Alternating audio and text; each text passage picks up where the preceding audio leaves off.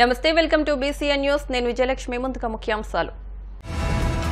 సుపరిపాలన దిశగా అడుగులు వేస్తున్నామన్న మంత్రి ఆనం. అధికారులు అక్రమాలకు పాల్పడితే చర్యలు తప్పవంటూ హెచ్చరిక.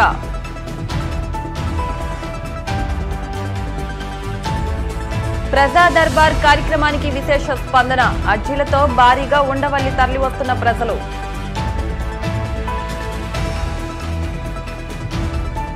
హెచ్ఐవి పట్ల అవగాహన అవసరమన్న కాకినాడ కలెక్టర్ షణ్మోహన్. ప్రజల్లో చైతన్యం కోసం కరపత్రాలు విడుదల. అంట్లు తోమినట్టు తుపాకులను తోమిన మధ్యప్రదేశ్ మహిళ సీన్ కట్ చేస్తే ఇంటి ముందు ప్రత్యక్షమైన పోలీసులు. సీఎం నారా చంద్రబాబు నాయుడు నేతృత్వంలో సుపరిపాలన దిశగా తమ ప్రభుత్వం అడుగులు వేస్తోందని రాష్ట్ర దేవాదాయ ధర్మాదాయ శాఖ మంత్రి ఆనం రామనారాయణ రెడ్డి స్పష్టం చేశారు. ఈ మేరకు ఆయన మీడియాతో మాట్లాడుతూ గత ప్రభుత్వ పాలనలో తిరుమల నుంచి ఉత్తరాంధ్రలోని అరసవిల్లి వరకు దేవుడి ఆస్తులను కూడా వదలలేదని అన్నారు. ఈ విషయంలో ఎప్పటికప్పుడు నివేదికలు తెప్పించుకుని చర్యలు చేపట్టాల్సిన గత ప్రభుత్వం నిర్లక్ష్యం చేసిందని మండిపడ్డారు. తాము అధికారంలోకి వచ్చినప్పటి నుంచి ఎటువంటి ఆరోపణలు వచ్చినా వెంటనే నివేదికలు తెప్పించుకుని బాధ్యులైన వారిపై చర్యలు తీసుకుంటూ పాలనను ముందుకు తీసుకెళ్తామని తెలిపారు. ఇందులో భాగంగా నెల్లూరు జిల్లాలో రెండు ఆలయాలకు సంబంధించి విచారణ జరిపించి వచ్చిన ప్రాథమిక నివేదిక ఆధారంగా తప్పు జరిగినట్లు నిర్ధారించుకుని అందుకు బాధ్యులైన ఐదుగురు అధికారులను సస్పెండ్ చేసినట్టు తెలిపారు. దేవాదాయ శాఖలో తప్పు చేసిన చిన్న అధికారులనే కాదు పెద్ద అధికారులను కూడా ఏమాత్రం ఉపేక్షించేది లేదని ఆయన తెలిపారు. నేను ఈ శాఖ మంత్రిగా వచ్చాక చాలా విషయాల్లో నా దృష్టికి వచ్చినవి నివేదికలకు పంపమని చెప్పి జాయింట్ కమిషనర్లకి డిప్యూటీ కమిషనర్లకి ఆదేశాలు ఇవ్వడం జరిగింది. కమిషనరేట్ నుంచి ఆ నివేదికలు తెప్పించుకుంటున్నాం. మీడియాలో ఒక నెగిటివ్ రిపోర్ట్ వస్తే వెంటనే ఆ రిపోర్ట్ని సంబంధిత జిల్లా అధికారులకు పంపించి అవసరమైతే కలెక్టర్ను కూడా ఇన్వాల్వ్ అయ్యి రిపోర్ట్ ఇవ్వమంటున్నాం. ఆ నివేదికల ఆధారంగా సరైనటువంటి చర్యలు తీసుకోవడం జరుగుతుంది. ఎవరు ఇందులో ఎవరి స్వార్థం లేదు. ఇవాళ చట్ట ప్రకారం సుప్రీంకోర్టు తీర్పుల్లోనే ఇచ్చింది. భగవంతుని యొక్క ఆస్తులకి ఎవరు ఆధారం అంటే భగవంతుడు అనేటువంటి రూపం ఒక మైనారిటీ బిడ్డతో సమానమని. మైనారిటీ బిడ్డ యొక్క ఆస్తిపాస్తుల్ని వారి హక్కుల్ని ఎవరు కాపాడేయాలంటే ఆ కుటుంబ పెద్ద కాపాడాలి. ఇవాళ భగవంతుడికి కుటుంబ పెద్ద రాష్ట్ర ప్రభుత్వమే. ఈ రాష్ట్ర ప్రభుత్వం పెద్దగా నిలబడి ఆ దైవం యొక్క ఆస్తిపాస్తుల్ని కాపాడాలి. ఎక్కడైనా దుర్మార్గం జరిగినా దురాక్రమణ జరిగినా వాటిని తిరిగి మళ్ళీ ప్రభుత్వానికి తీసుకొచ్చి అప్పచెప్పడంలో ఏమాత్రం ఉపేక్షించడం జరగదు. ఇప్పటికే ప్రభుత్వంలో ఉన్న ఆలయాల యొక్క ఆస్తిపాస్తులన్నీ మేము నోటిఫై చేయడం జరిగింది. Section twenty two A one C కింద దేవాలయ భూములన్నీ దేవాదాయ భూములన్నీ దీన్ని మనం చేశాం. దాంట్లోనే ఆరు లక్షల నలభై వేల ఎకరాలకు ఇవాళ దేవాదాయ ఆస్తులుగా ఉన్నాయి. లక్ష యాభై వేల ఎకరాల భూమి సర్వీస్ ఇనాముల కింద ఎవరైతే ఆలయాల్లో నిత్యం అర్చకులుగా పూజలు చేస్తారు. లేకుంటే అక్కడ రజకులుగా ఉంటారు నాయీ బ్రాహ్మణులుగా ఉంటారు. సేవకు ఉపయోగపడేటువంటి వాళ్ళందరికీ సర్వీస్ ఈనామ అనేటువంటి చట్టం కింద వాళ్ళకి భూములు ఇచ్చాం. అటువంటి ఒకటిన్నర లక్షల ఎకరాలు ఉంది. అవి కూడా చాలా వరకు అన్యాక్రాంతమైనవి అనేటువంటి విషయం మా దృష్టికి వచ్చింది. ఇవాళ కూడా కొంతమంది నాయీ బ్రాహ్మణులు వచ్చి మా భూమికి twenty two A one C కింద రికార్డ్ అయింది. మా భూములు మాకు ఇప్పించండి అంటే వాళ్ళనే నేనే ప్రశ్నించడం జరిగింది. మీకు ట్వంటీ టూ వన్ సి కింద భూములు ఉన్నాయంటే సర్వీస్ ఇనాం భూములు మీకు ఇచ్చాం. మీ భూములు ఇది ఎందుకు ఇచ్చాం? ఆ ఆలయంలో మీరు నిత్యం పనిచేయాలి మీ వారసులు కూడా పనిచేయాలి పని చేసేవాళ్ళు అందులో హక్కుదారులు అవుతారని ఇచ్చాం. మీరు అమ్ముకుపోతామను మీరు వాటిని పరాధీనం చేస్తామనో. లేదు కుటుంబాలే మేము ఇతర దేశాలకు వెళ్ళిపోతూ మొగరికి అమ్మేసిపోతామంటే అది చట్ట ప్రకారం చెల్లదు. ఆ భూమి మళ్ళీ సర్వీస్ ఈనాం భూమి కింద దేవాదాయ శాఖకే పరిమితం అవుతుందని చెప్పి చెప్పి వాళ్ళని ఒప్పించి పంపడం జరిగింది. కాబట్టి తెలియక కొంతమంది తెలిసి కొంతమంది తప్పులు చేసినప్పుడు చట్టాలను వాళ్ళకి తెలియజెప్పి సరిచేయడం ఈ యొక్క కార్యక్రమంలో ప్రధానమైన అంశం. న్యాయపరంగా చేయాల్సిన పనులన్నీ కూడా మేము చేస్తామనే దాంట్లో చేశాం. ఇప్పటికే విజిలెన్స్ ఎంక్వైరీ జరుగుతుంది. టీటీడీలో జరిగినటువంటి అక్రమ కార్యక్రమాలు గతంలో అడిషనల్ ఈఓ ఆయన ఈఓగా అర్హత లేదు. అడిషనల్ ఎగ్జిక్యూటివ్ ఆఫీసర్గా ఒక పదవి సృష్టించుకొని ఆ పదవిలో ఆనాడు ఉన్నటువంటి అన్ని అనర్థాలకి కారకుడైనటువంటి ధర్మారెడ్డి గారు వారు అనేక తప్పుడు కార్యక్రమాలు నిర్ణయాలు అక్కడ చేయడం జరిగింది. వాటన్నిటి పట్ల విజిలెన్స్ ఎంక్వైరీలు వేయడం జరిగింది. తెలుగుదేశం పార్టీ జిల్లా అధ్యక్షుడు Srinivasulu Reddy MLA Madhavi Reddy Viswanathapuram railway bridge గురించి మాట్లాడడం చాలా హాస్యాస్పదంగా ఉందని సోషల్ వెల్ఫేర్ మాజీ చైర్మన్ పులి సునీల్ కుమార్ పేర్కొన్నారు. కడప నగరంలో వైసీపీ కార్యాలయంలో ఆయన మీడియాతో మాట్లాడుతూ వైసీపీ అధికారంలోకి వచ్చిన తర్వాత ఎన్నో అభివృద్ది పనుల్లో భాగంగా అక్కడ నిర్మించాల్సిన ఫ్లైఓవర్ కూడా అడిగినట్టు తెలిపారు.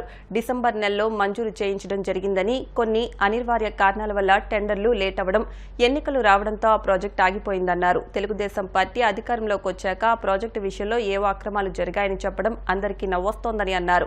ఇప్పటికైనా కూటమి నాయకులు తమ తీరును మార్చుకోవాలని అన్నారు. కొన్ని అనివార్య కారణాల వల్ల టెండర్ లేటుగా అంటే ఎలక్షన్స్ రావడం అప్పుడు దాంతో ఆగిపోవడం దాని తర్వాత ఇప్పుడు తెలుగుదేశం పార్టీ అధికారంలోకి వచ్చిన తర్వాత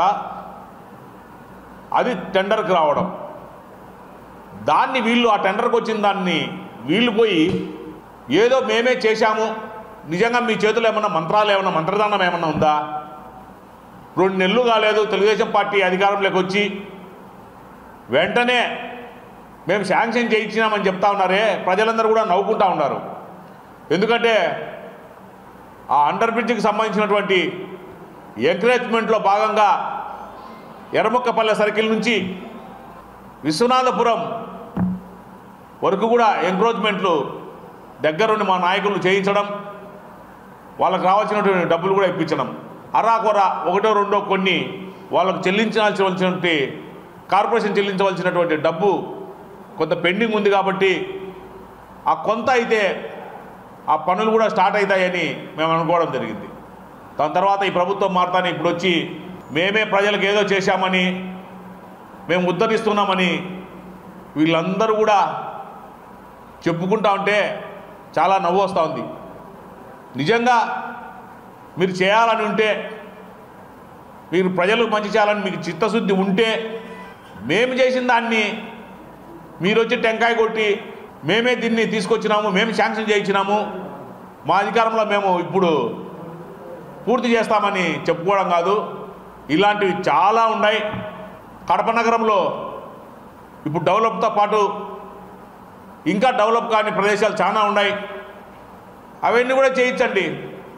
అంతేగాని మేము చేసిన దానికి మీరు టెంకాయలు కొట్టి కొట్టచ్చు. మీరు అధికారంలో ఉన్నారు కాబట్టి ఓకే మిమ్మల్ని గౌరవిస్తాం మిమ్మల్ని స్వాగతిస్తాం మీరు పనులు చేయించండి అంతేగాని మేమే అంతా చేయిస్తాం చేయించామని చెప్పడం శ్రీనివాసరెడ్డి గారికి ఆయన సీనియర్ నాయకుడు ఆయన ఏ విధంగా ఆలోచిస్తానో అర్థం కాదు. ఎంపీ గారు దీన్ని ఇన్ని రోజులు చేయలేదే. అందుకు మేము ప్రభుత్వ వస్తాను మేమే చేసినామని చెప్పడం చాలా విడ్డూరంగా ఉంది. ఎంపీ గారి సహకారంతోనే రైల్వే అధికారులతో రైల్వే మినిస్టర్తో మాట్లాడి అది శాంక్షన్ చేయించడం జరిగింది. నిజాలు చెప్పండి ఇప్పటికైనా అబద్ధాలు ఎన్నో చెప్పినారు మీరు అధికారంలోకి వచ్చినారు. కనీసం అధికారంలోకి వచ్చినప్పుడైనా నిజాలు చెప్తే మంచిదని మేము తెలియజేస్తూ ఉన్నాం. అదేవిధంగా కమలాపురం శాసనసభ్యులు కానీ కడప శాసనసభ్యులు కానీ ఏ రోజు వాళ్ళ ప్రజల పక్షాన ఎప్పుడు పోరాటం చేసింది లేదు. ప్రజల కోసం ఒక పని చేసింది లేదు. దాన్ని శాంక్షన్ చేపించింది రవీంద్ర రవీంద్రనాథ్ రెడ్డి గారు. అదంతా మర్చిపోయి మేమే ఏదో చేసినట్లుగా మీరు చెప్పుకోవడం చాలా ఆశాస్పదం. మంత్రి నారా లోకేష్ చేపట్టిన ప్రజా దర్బార్ కార్యక్రమానికి విశేష స్పందన లభిస్తోంది. ఉండవల్లిలోని ఆయన నివాసానికి మంగళవారం తల్లి వచ్చిన జనం తమ సమస్యలను మంత్రి ఎదుట ఏకరువు పెట్టారు. ఈ మేరకు సమస్యల పరిష్కారానికి ప్రత్యేక యంత్రాంగాన్ని లోకేష్ ఏర్పాటు చేశారు. విద్య ఐటీ ఎలక్ట్రానిక్స్ శాఖల మంత్రి నారా లోకేష్ ప్రజల కోసమని ప్రత్యేకంగా తనదైన స్థాయిలో మొదలుపెట్టిన ప్రజా దర్బార్కు ఇప్పుడు రాష్ట్ర వ్యాప్తంగా వినతులు వెలువెత్తుతున్నాయి. కేవలం వినతి పత్రాలు తీసుకోవడంతోనే తమ బాధ్యత తీరినట్లుగా భావించకుండా సంబంధిత అర్జీలను ఆయా శాఖలకు పంపి వాటిని పరిష్కరించేందుకు ప్రత్యేకమైన యంత్రాంగాన్ని ఏర్పాటు చేశారు. ప్రజా సమస్యల పరిష్కారం దిశగా మంత్రి నారా లోకేష్ చేపడుతున్న చర్యల పట్ల ప్రజలు హర్షం వ్యక్తం చేస్తున్నారు.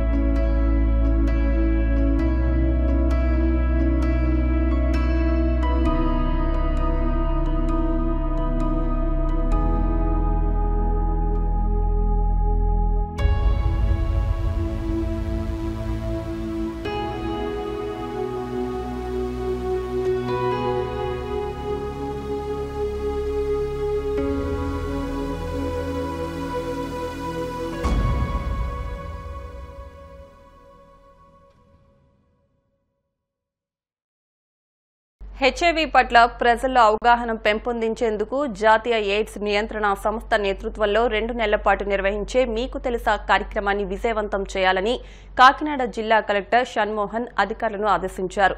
సోమవారం కాకినాడ కలెక్టరేట్లో నిర్వహించిన ప్రజా ఫిర్యాదుల పరిష్కార వేదిక కార్యక్రమంలో అంతర్జాతీయ యువజన దినోత్సవం సందర్భంగా కలెక్టర్ షణ్మోహన్ వివిధ శాఖల అధికారుల సమక్షంలో హెచ్ఐవి నివారణపై రూపొందించిన కరపత్రాలను ఆవిష్కరించారు.